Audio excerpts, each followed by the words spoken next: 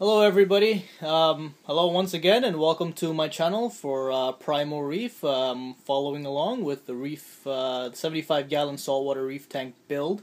Um, as you can see I've got pretty far in my build, um, pretty much all that's left over now is my uh, protein skimmer, the Aqua C, which is located right there, uh, temporarily for now. I gotta find out if I'm gonna do external at the top there, or hide it down below. But this this video is going to be on a, a do-it-yourself aquarium light stand.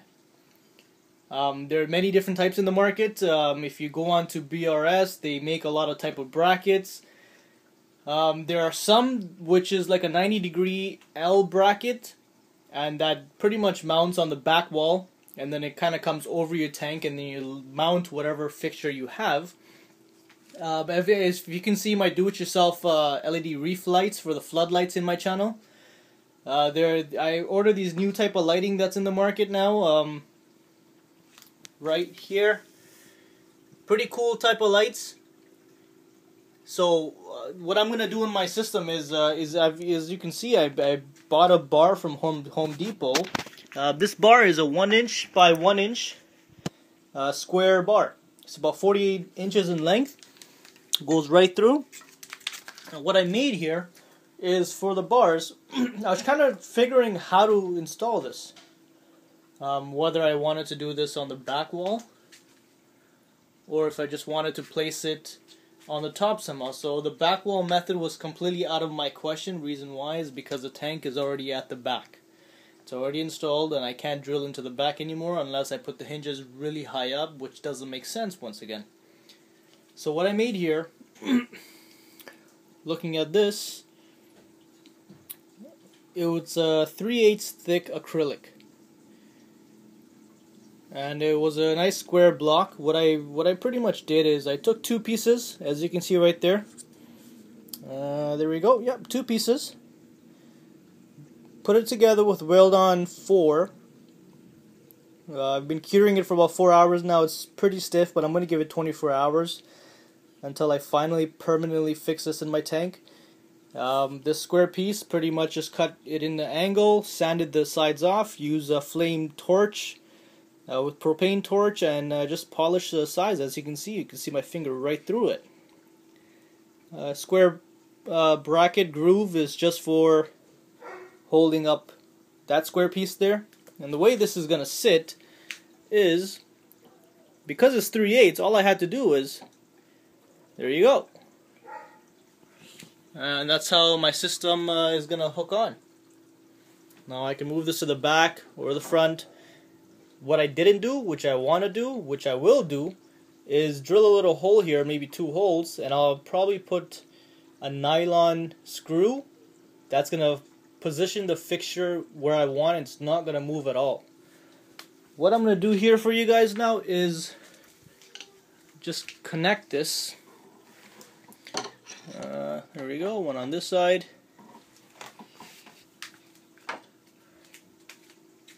I'm just gonna put this lighting up here. Um, so sorry, what I did was uh, I drilled holes into the back here, and the screws that I use. Uh, some of you are probably gonna think what type of screws I use. Oops, oh, clumsy hands today. Uh, here we go. So this is it. Uh, you can pick this up at Home Depot. Uh, just trying to unleash it there. My dog's going crazy. This right here. Okay, so that has a thread. If you can see it, it has a thread right there. I use a screw with the Robinson bit with the washer and so the screw in the washer side is going to go on the inside and then the finishing is going to sit at the top so if you can see, the finishing is very flush. Stays right inside, and I have no problems at all. So there are four lights, so that's 40 watts. And in the center, I left a big gap. Reason why I have a 30 watt RGB LED light, LED light coming in. So it's gonna be 30 watts in the center, and then you got the four at the side, and I think that should be enough for now. Um, for my backup, what I have is previously ordered before. If you see my old videos, I have a 100 watt cool white LED lights mounted on a heat excuse me mounted on a heatsink. Uh, these are really bright. Um, the issue that I had with these before, now I don't know if I didn't acclimate the SPS Coral in the past, but two of my Montiporas and uh, the SPS Coral, the frags that I had, died in a, in a matter of a month or two. So I did properly acclimate him, um, putting at the bottom, to the middle, to the top. Again, I don't know if the lights were way too bright because remember, guys, LED equivalent to your halogen, to your T5s, to your metal halides is completely different. So just because you have a 200, uh, 150 watt metal halide or 250 watt metal halide, you have to get 250 watts of LED. It's not true at all. Um, so, okay, anyways, enough talking. I know you guys want to see this thing in action. So, oh boy. Now, right now, it is kind of. Um, it's not going to be 100% secure the way I want it to right now. And again, I'll make another video for the future reference on how this is connected. Uh, sorry, how this is professionally and properly done. You know what? Guys, if you can bear with me for two seconds, I'm just going to put the camera down and follow me along. where's my tank? There it is. Alright, so just hang tight. And I'm going to get this done.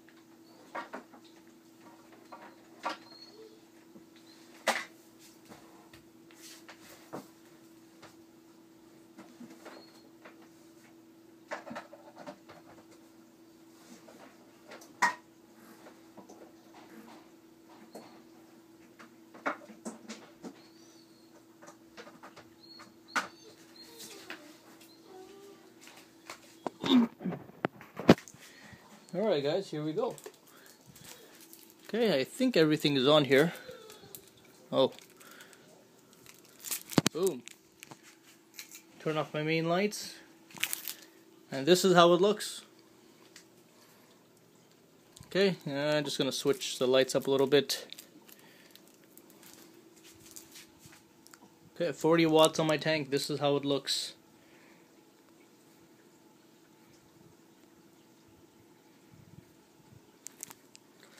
Let me know what you guys think.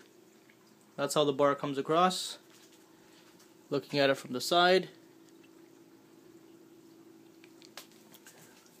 Now, just one more thing. What I'm going to do here, I got to get the end caps. They're 39 cents at Home Depot. End caps going to give it that nice professional plastic look. And uh, somehow, I'm going to have to mount this so it doesn't wiggle. And in case this were to move, it's not going to move. So, acrylic. Um, this acrylic piece uh, cost me four bucks. This square piping here, 48 inches across, one inch by one inch. Um, this was 17 or 18 dollars at Home Depot. So the whole project was done under 20, 25 bucks.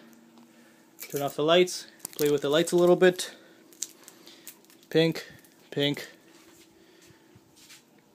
now this is just awesome. The amount of things you can do with these people is phenomenal. Have a white, have a white, and maybe dim the whites. Okay, so hope you guys do like it. Uh, please, uh, if you guys have any recommendations, let me know and how you guys like this. Um, if you want me to uh, try something else out, well, again, let me know. This is only sitting on 40 watts. I will be doing more in the future. Uh, brighten this up again. So this is a good thing about the LEDs. You know, you can switch around, play around with all these lights and have all different assortment of colors inside of it. You can hit all purple.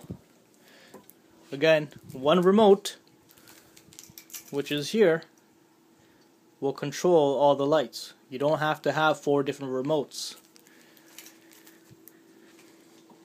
Green, green.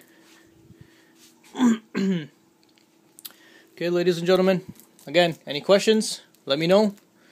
Um, if you guys like the like the product that I just built, uh, do-it-yourself LED light stand, please like below. And uh, hope you enjoy it. Thank you very much, and uh, have a great day.